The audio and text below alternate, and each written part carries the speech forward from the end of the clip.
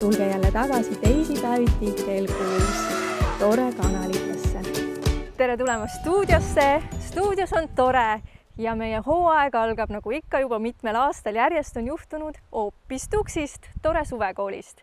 minuga koos on siin meeskonnaliige Markus. mul on eh, hea meel, et mul on kaassaatejuhid ja teiselt poolt liigub minu poole Sandra. no tere, noored. tere Eh, mul on hea meel, et te olete nõus eh, saadet juhtima koos minuga ja me läheme teele, rännuteele, nagu ma saan aru, et see aasta on peateema on meil, mis? tore rändaja. tore rändajad, just. ja meie olemegi need rändajad täna siin. ja äh, aga meie ju teame, et äh, üks päev on juba selja taga. Sandra, mida sina esimesest päevast mäletad või et mis see, mis see eile nagu eriti elev koht sinu jaoks oli? minule tekitas esimesi emotsioone see, kui esimesed bussid hakkasid tulema, nägid, et autod ja bussid hakkasid liikuma. ja siis tulid esimesed inimesed ja said esimesed kallid kätte ja, ja siis oli avamine, mis oli ka pauguga ja, jah. äge, Markus. minul käi-, alguses jäi kõige rohkem silma paistma see lipu heiskamine, mis oli täiesti nagu sihuke eepiline sihuke üle saja inimese suures ringis on ju, hõiskavad tore, tore ja, ja siis kõik lihtsalt ülimäge oli ja hästi meeldib. see, kuidas sa seda kirjeldad, on juba niivõrd ilus lihtsalt ja vot üks rändaja peab ju seisma silmitsi ka igasuguste tuule ja tormidega, eks ju. Kunagi ei tea, mis tee peal ette võib tulla, nii et meil saab tänavu aasta olema põnev seda saadet teha hoopis teistes ilmastikuoludes kui varem. aga üks asi veel, mis sa näiteks eilse kohta ütleksid äh,? kindlasti jääb meelde ka see kõige esimene pesaaeg, kui kõik pesad said esimest korda kokku ja tutvusid omavahel ja said, said, said ühtseks meeskonnaks, kellega siis läbi suve, suvekooli seilata koos. ja kindlasti päevapunkt tuleb ära rääkida, kas või ikka, võib nii olla? jah, ikka õhtune stiilipidu on minu arust kõige parem hetk seal, et äh, kõikidel olid seljas väga noh, ilusad kostüümid, mõned olid ka nutikad, onju. ja ausast, autosustamine ka oli väga äge, et sai näha, kes, kes, kes ikka pani täiega seal. ja vaataja kindlasti tahab teada, et mis see teema siis oli? teemaks oli reis ümber maailma, mis käib noh, selle tore laagri teemaga väga hästi kokku ka ja lahendused kindlasti kostüümidel olid imelised, ma ju olin seal ja nägin seda kõike pealt. aga siis me seisame siin teeviitade keskel. Need teeviidad suunavad meid erinevate töötubade juurde. ja seekord me saame jaotada koormust, üks läheb ühes suunas, teine teises ja kolmas kolmandas suunas. ja nautige koos meiega teekonda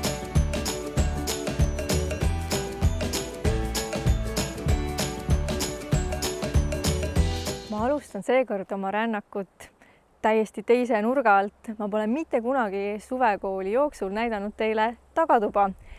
aga seekord ma teen selle esimese asjana ära ja loodan, et peakorraldaja on kohal. Kuku.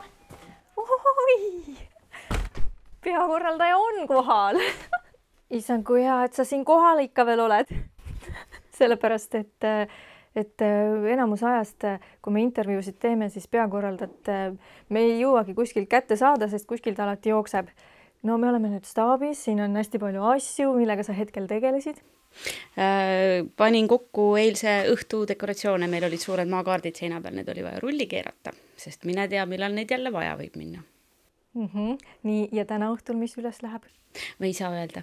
ei saa öelda no saade läheb hiljem eetrisse, et siis äkki ikkagi kergelt. täna on hästi palju lipse, šleffe, tutte ja lilli.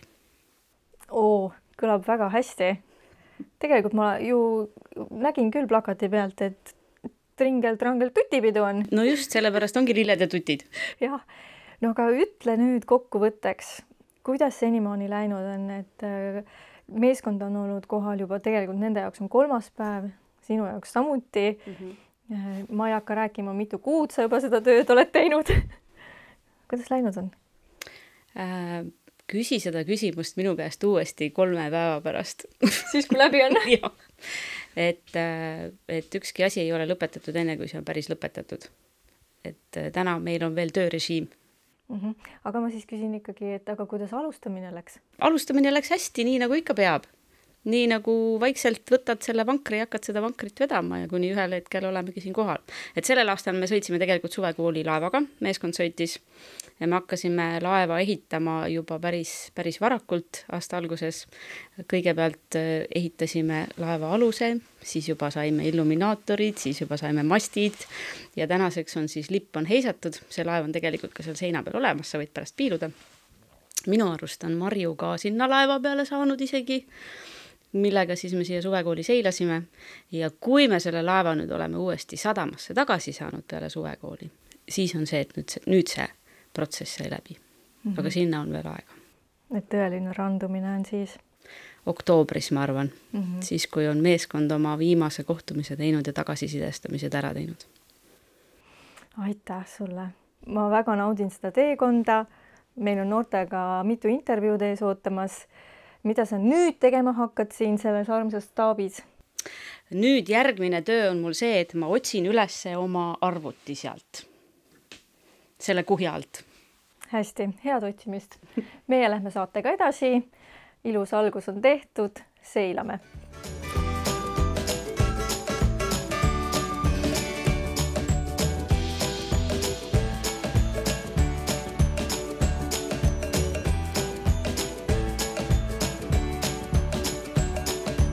et rännutööd alustada, peaks kõigepealt olema valmis ka plaan ja mina olengi praegu jõudnud kohta, kus tehakse mängulist rännuplaani. Lähme kuulame ka paar sõna juhendajalt.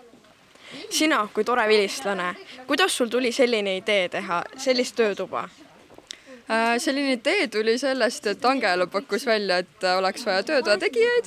Ja siis ma mõtlesin, et äh, selline asi, mis pakub mulle endale huvi ja mulle väga meeldib reisimine. Ja mõtlesin, et siis noored saaksid ka mõelda natuke laiemalt oma silma nagu oma piiridest väljapoole, saavad mõelda enda sellised unistuste maad ja unistuste linnad, kuhu näiteks minna või kus elada või, või kus siis viibida, et, et kõik saaksid olla loovad ja lasta loovusel lennata. okei okay,, see on väga äge minu meelest, aga äh, kuidas arvestada kõikide inimeste soovidega? Äh, see on väga hea küsimus. Äh, ma arvan, et äh, kui on hästi palju inimesi selles seltskonnas, et sa pead teistega arvestama, siis võib-olla mitte peale suruda ka enda arvamust, et kui sul ongi näiteks viis inimest ühes grupis, et siis kuula kõigepealt ära teiste soovid, teiste arvamused ja, ja siis selle järel siis saad ka analüüsida neid, et võib-olla leiad hoopis mingisugused teised lahendused või teised moodused, kuidas lõpp, lõpuks siis lahendus leida, et et alati saab ju otsuseid muuta ja, ja muud lahendused leida arusaamatustele. okei okay,, väga õigesti öeldud. ja nüüd lähme kuulame ka paar sõna ühelt inimeselt, kes seda, kes seda töötuba läbib. tere, tere.! Äh, kuidas on teie emotsioonid, kuidas on siin töötoas olla ja selle kõigega tege-, kõigega tegeleda? siin on väga äge, väga lõbus ja mulle ka väga meeldib Äh, kas sa oled rahul üleüldiselt selle korraldusega ja enda pesaga ja kas kõik on hästi? jaa, kõik on väga hästi, kõik on väga hea. seda on väga hea kuulda äh,. aga mida sa siit töötoast endaga kaasa võtad, kas sul on mõni nipp, mida sa siin juba õppinud oled? no ikkagi seda, et äh, teistega ikka peab nagu arvestama, et me nagu ongi kõik, kõik kuulaks oma mõtted ära ja siis nagu hakkaks seda tegema. okei okay,, väga hea. ja nüüd lähme edasi järgmisesse töötuppa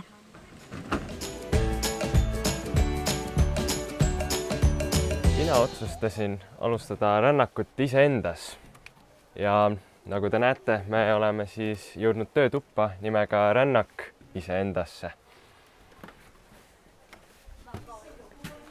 nii, te olete siis teinud rännaku iseendasse ja ma tahaks teada, et mida te olete avastanud ja teada saanud, tehes rännaku iseendasse? no tegelikult äh, sain teada, mis mind motiveerib õppima. kui varem ma pole selle peale mõelnud, siis äh, nüüd tekkis see hetk, et nüüd on, nüüd on vaja natuke täpsemalt mõelda, et mis see mind siis äh, ikkagi õpib motiveerima ja siis me pidimegi panema siia ringide sisse neli kõige tähtsamat äh, väärtust siis, mis aitab, mis motiveerib meid õppima. väga huvitav, aitäh. et äkki saaksite ka ära seletada, mis tähendab lausa rännak iseendasse? noh, kes kuidas seda võtab, eks ole, aga sa saad, noh, kui meie siin vaatame seda, et mis motiveerib meid õppima, siis me saamegi näha, et kõikidel on erinevad asjad. siis me saamegi teada, et mis, mis asi kedagi motiveerib. et see siis avab sind rohkem. et äh, ma näen, et teil on tabel siin tehtud, et äkki saaksite seletada vaatajatele, et äh, mis äh, see on siis minu eluratas, kuidas siis, mis motiveerib, motiveerib mind õppima, siis mu eesmärgid on saada siis unistuste kooli sisse, rohkem und kindlasti, pere ja loomad, et mul on väga armas kass kodus endalgi. jah, et siis selline ja siin keskel on selline ring, kus siis, et kui palju mul seda on et kui algus juba nii huvitav on olnud, et äh, siis mis meid edasi ootab? nüüd ma istun äh, siis äh, juhendajaga. et ma tahaks küsida teilt, et miks on see olu-, oluline teha rännak iseendasse? no tegelikult see rännak iseendasse hõlmabki endas sedasama eluratast ja seda eluratast tehaksegi just tegelikult selle eesmärgiga, et et äh, panna need õpilased unistama, see ongi just mõeldud rohkem äh, kooli lõpetavale õpilasele. et äh, mida rohkem ja kõrgemalt sa unistad, seda rohkem sa tegelikult saavutad ja seda ma siin, sellega ma üritan selle töötoaga lõpetada, et öeldes õpilastele, et unistama peab nagu hästi suurelt. see ongi selle asja mõte väga-väga ilus mõte, aitäh teile! aitäh! noh, kui ma ise ka juba nüüd kooli lõpetan, siis äh, see kõik läheb mulle ka väga vajalikuks, et äh, kindlasti teen ise ka rännaku iseendasse.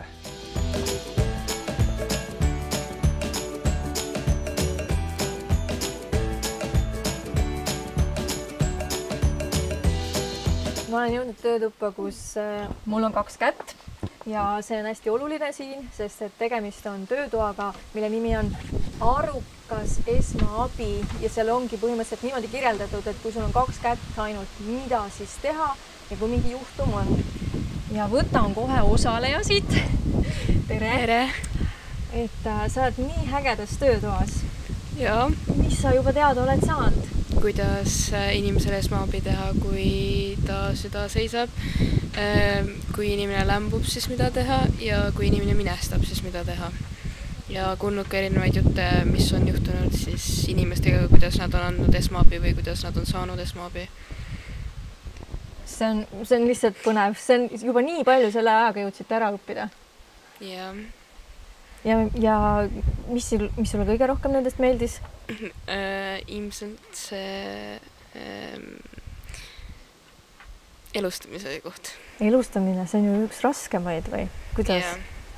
eks ju äh,. on küll päris tugevalt pealt äh, niimoodi pressima mm. -hmm.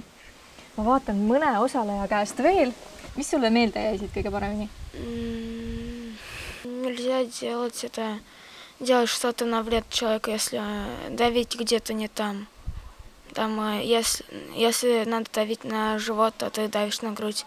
Это может привести к чему-то плохому в последствиях. Вот. Okei okay.. saite aru, jah hästi huvitav küsimus. Äh, sina ise õpetad teistele seda ja ma tahaks teada, kas, kas keegi sind on aidanud Mhm. kindlasti elus on, praegu hetkel ei tule meelde, aga ma tahan öelda nende kolme grupi kohta, kes meil on praegu käinud eh, koolitusel, et ma näen, et nendes noortes on hästi palju valmisolekut, kui minuga juhtuks midagi, siis ma kindlasti abi saaksin. Sa teed head tööd? ei, see on, see on ka, ka enne, nad on ikka nii avatud ja vastu võtnud seda infot ikka maailmast enne ja väga adekvaatsed, sest põhiline ongi, et elanikkond tahaks anda ja nad teavad, miks nad mida teevad ja seda on siin hästi palju noortele analüüsivad väga hästi mm. -hmm. ja, ja kindlasti üks ere mälestus mõni, kas, kus sa oled aidanud ja sellest on abi olnud, on sul? no hetkel me rääkisime just äh, võõrkeha hingamistöödes ja räägime sellest lämbumisest, kuidas on võimalik, et äh, rahvast täis äh, ruumis, peolaua taga kõik istuvad ja me rääkisime just sellest, et lämbumine on selline vaikne tegevus, kus vana inimene lihtsalt mitte midagi ei räägi, keegi ei pane tähele, sest kõigil on omad jutud. Ja minu arust oli väga tore, et ma nägin, et ta lämbub ja ma sain selle võõrkeha nagu õige liigutus kätte, seal sai ainult selle koputamisega ehk löökidega palude vahel mm. -hmm issand sellised lood alati kuidagi vapustavad. Äh, mul on hea meel, et te olete tore suvekooli tulnud õppima selliseid tähtsaid asju. Äh, liigun ise edasi juba järgmisesse töötuppa ja teie vaatajad saate vaadata, mida noored meeskonnaliikmed praegu samal ajal õpivad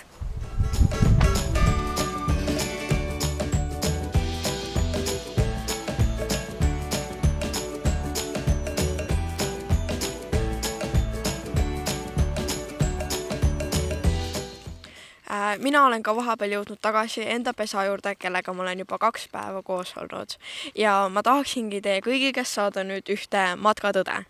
ära mine telk kõrvale äh, teata, et äh, tuttavatele, millal sa tuled ja kuhu sa lähed. võta kaasa kindlasti esmaabipakk. ja alati enne metsa astumist jätta endast märk maha siis kas noole kujul või siis millegi kujul, et äh, isegi kui sa ära eksid, et siis sul oleks äh, märk sinust maas, et sa läksid just sinna suuna. ja kõige parem ongi teha siis puuokstest nool. ja mina sain siit töötoast teada näiteks, et äh, kui sa kusagile lähed, siis telefon võiks alati täis olla, nii et mina lähengi nüüd telefoni laadima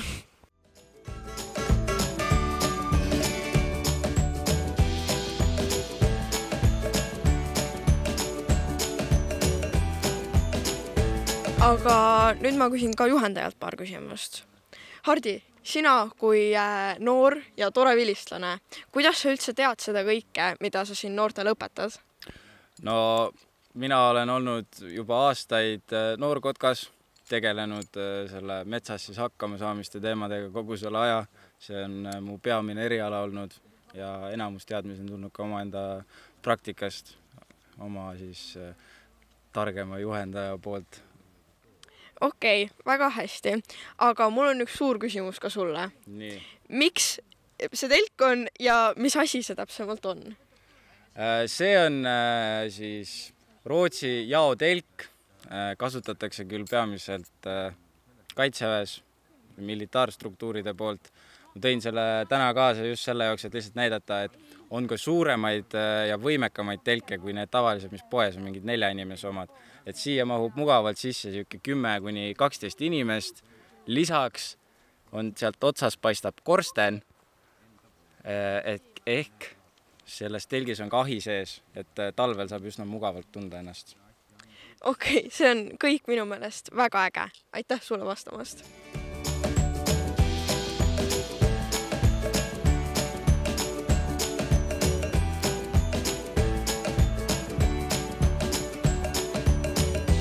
me oleme siis äh, siia kogunenud äh, töötuppa, mille nimeks on korraldus on seiklus. ja ma istun siin Andra Allikuga, kes on siis äh, töötoa juhendaja.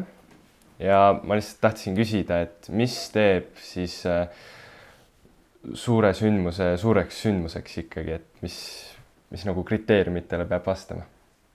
ma ei ütleks, et peab kriteeriumitele vastama midagi see on pigem selline tunnetuslik asi, aga kuna me räägime praegu siiski noortekonverentsist Lahe koolipäev, siis meie niinimetatud kriteerium võib-olla, kui sa nii väga tahad seda sõna kasutada, on siis see, et me räägime üle-eestilisest asjast ja see, et me oleme ainus konverents praegu, mis mahutab ära tuhat kakssada kuni tuhat kolmsada noort korraga. et võib-olla see ongi siis see meie see suursündmuse üks öö, alustaladest. tore suvekool, et kas see käib siis suure sündmuse alla äh,? käib küll, ütleks mina, sest äh, üldjuhul laagreid ei tehta. noh, see ei ole päris laager äh,, laagrilaadne toode see on üle-eestiline esiteks ja meie organisatsiooni jaoks on väga palju rahvast tegelikult koos. et mina ütleks küll, et see on suur asi, väga suur asi väga-väga suur asi. aga aitäh, et äh, leidsite aega, et küsimustele vastata ja kuulajatele ja vaatajatele ikka ka meeldib see mm, -hmm. aitäh. nüüd, kui me rääkisime juhendajaga, siis vaatame, mida siis osalejad arvavad sellest töötoast kohe saame siis teada, kas see on ikkagi siis üle-eestiline. kust teie pärit olete? ma olen pärit Oskar Lutsu Palemuse põhikoolist. ma olen Rakverest. Ja ma olen Paidest. ongi tõesti üle-eestiline, et mina ise olen Keilast. et jah, kõik Eesti nurgad kõik kokku ühte kohta, et täiesti äge minu arust. et äh, siis äh, küsiksin äh, ära ka, et sündmuse korraldamine, et see on ikkagi päris raske, et, et mis on kõige olulisem osa selle juures? Kindlasti üks suur osa peaks olema siis planeerimine, et äh, mida varem, seda parem alati. hea meeskonnatöö. hea tuju. imeline, väga lihtne ja väga õiged vastused ka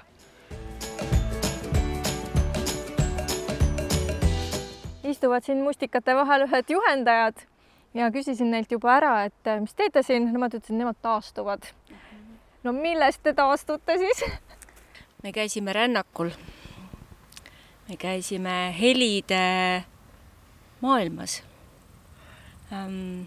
kuulasime ilusaid laule, mõtlesime oma mõtteid ähm,. Need olid väga äh, kummalised helid äh, vahepeal käisid kuskilt läbi siit niimoodi mm,. oht oli magama jääda. mõni jäigi. mõni jäigi, oli kuulda. Kuidas sinule mõjus? Äh, rahustavalt muidugi äh, oleks teadnud, et äh, ette, et me sinna niimoodi põrandale pikutama, pikutama läheme, oleks võtnud võib-olla midagi kodus niisugust, mingi Pehmemat. mati või pehmemat kaasa. pärast oli kehakange, aga seal saime ennast äh, igatpidi kangutada ja väänata, et. Äh, ma arvan, kui mul oleks madrats kaasas, siis ma oleks maganud mm. -hmm. vahepeal ei saanudki aru, et kas ma nüüd olen ärkvel. jaa, kuskil unes. mingid mõtted ilmsi. tekkisid pähe, aga mõtlesin, et nagu ei ole päris minu mõtted et siis huvitav. klassikaline küsimus siis, et et miks seda siis juhendajal vaja on? et end välja lülitada võib-olla või siis nii-öelda see enda sissevaatamine. taastuda -hmm. valmistuda uueks mm, hooajaks. niisugune hea rahulik oli, et vaatamine. Mm -hmm. nüüd on juba kakskümmend neli tundi täis, kui me oleme siin olnud, et niisugune noh, väga intensiivne, nagu need kõik koolitusedki on alati olnud, et kolme, kolmandaks päevaks on niisugune tunne, et oleks nagu see tühjaks pigistatud käsn või niisugune mõnus, mõnus oli olla nii tore, mul on hea meel, et sa mainisid uut hooaega. Ja kuna te olete mõlemad Põltsamaa Ühisgümnaasiumi alla kuuluvad noh, nii-öelda õppekohad, filiaalid, õppekohad, et äh, Adavere ja Lustivere mm, -hmm. et siis äh, küsikski ühe asja, mis teid äh, see, see tore hooaeg ees ootab mm,? sinul kindlasti uued väljakutsed on ju? no just muutused meil mm. mõlemal, sest et ega meil muutub seal see kõik selles suhtes kooli, see päevakava ja kõik muutub seal. et me ei tea hetkel veel ise tegelikult väga midagi. väga tore koha pealt, eh, noh, mina nüüd olen proovinud juba siin mm., lihtsalt paremad mõtted tekkinud, kuidas edasi minna me oleme juba, noh, me tegime siin, et mina ei ole veel ringiga alustanud, et Anneli on alustanud, aga et me tegime näiteks juba selle külaliskohtumise ära, niimoodi, et me Adavere läks siis Lustiverele külla. et noh, lapsed on juba üksteist äh, näinud, et see on hea. Ja mul on see, et äh, minul on juba, mul oli seal koolituse ajal juba üks õpilane vahepeal läks ära ja nüüd ma sain teada, et mul läks veel üks õpilane ära, kes siis minu nii-öelda tore noor oli, et eks ma siis pean hakkama seal uusi jah endale mm -hmm. meelitama. nüüd tuleme meie teile külla, on ju mm? -hmm. ja suvekoolist saite kindlasti selleks indu, jõudu, jaksu. ja just see hommikune mm, -hmm. meil oli siin see luulerännak nii-öelda ka, et see mm -hmm. oli mhm. kindlasti mulle kui klassiõpetajale väga kasulik, et võtsin sealt väga palju nippe, kuidas oma kolmandikele siis äh, luulet tutvustada niisugune mõnus vibe on siin või selline energia ja, ja, ja ma pole ühtegi kurba inimest siin veel näinud. kõik on niimoodi rõõmust pakatavad. aitäh teile. ja tormamegi aina ka saate lõpupoole. noored on kindlasti leidnud veel mõne töötoa. aga naudime edasi teekonda, aitäh teile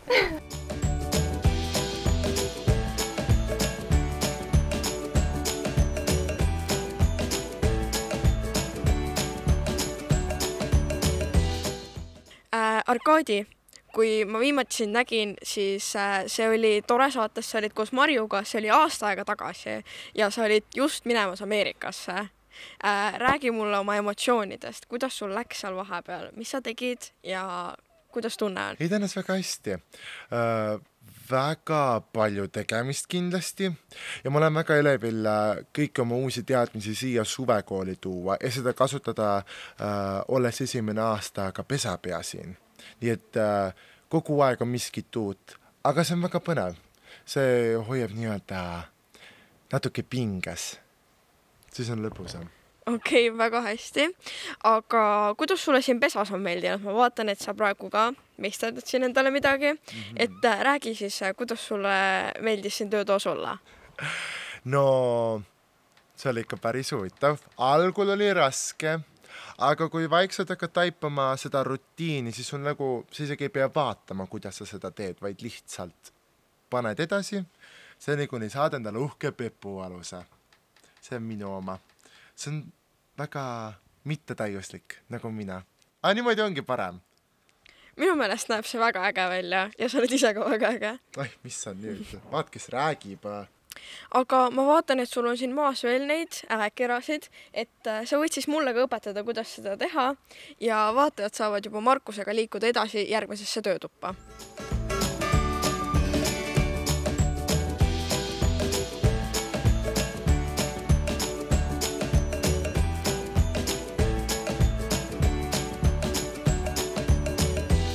Ma sain aru, et äh, nemad käisid siis Anna töötoas, et äh, mida te tegite siis seal? Me tegime tuulekella merekividest. huvitav, väga huvitav. vaatan, et teil on kõik äh, eri värvi, et kas, mille põhjal te valisite need? no mina valisin need sellepärast, et mu lemmikvärv on ikkagi roosa ja ma valisingi proovisin kuidagi roosat ja lillat ja punast kokku segada, et tuleks mu lemmikvärvidest see kokku. Ja ma küsiks ka ära ka, et mida see tuulekell siis sümboliseerib mm,? võib-olla rahu ja mm, no vaikust ja soojadust ta teeb häält, kui ta tuule käes on. aga ma ei tea, jah, rahu. aitäh väga,, väga-väga huvitav väga head vastused. et äh, küsiks ka, et mis on, mis oli kõige raskem osa selle töötoa juures, et kas meisterdamine oli raske või? mitte väga, rohkem oli nööri läbipanemine nendest kividest.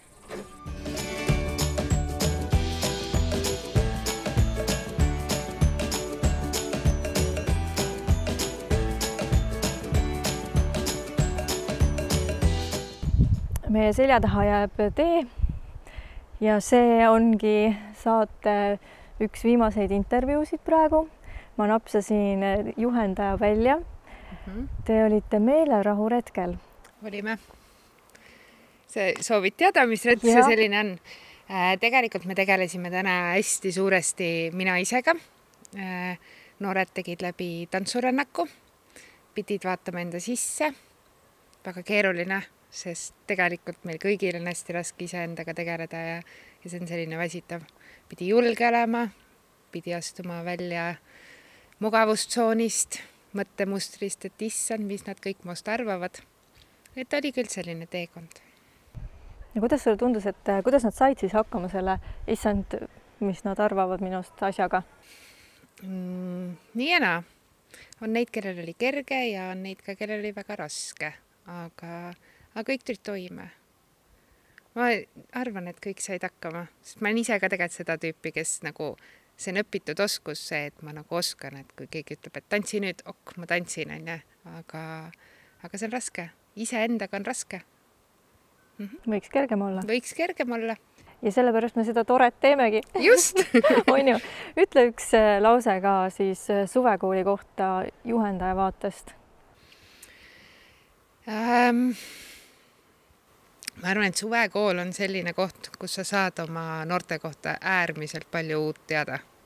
Nad oskavad siin teha selliseid asju, mille peale sa üldse ei tule, et nad koolimajas päriselt neid teha oskavad.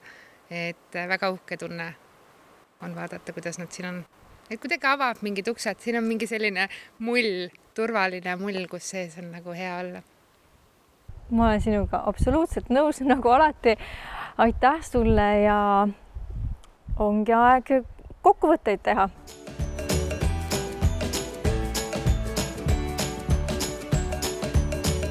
Rõõm teid jälle näha ja ongi teekond läbitud.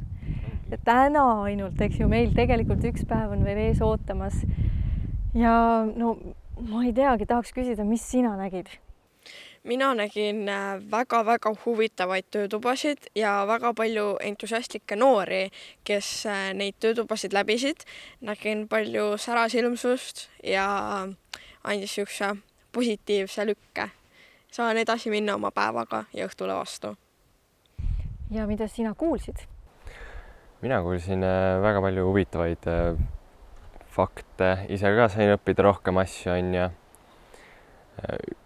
Minu arust üks kõige huvitavatest töötubadest, kus läbi käisime, oli siis äh, korraldus on seiklus. aitäh, väga tore.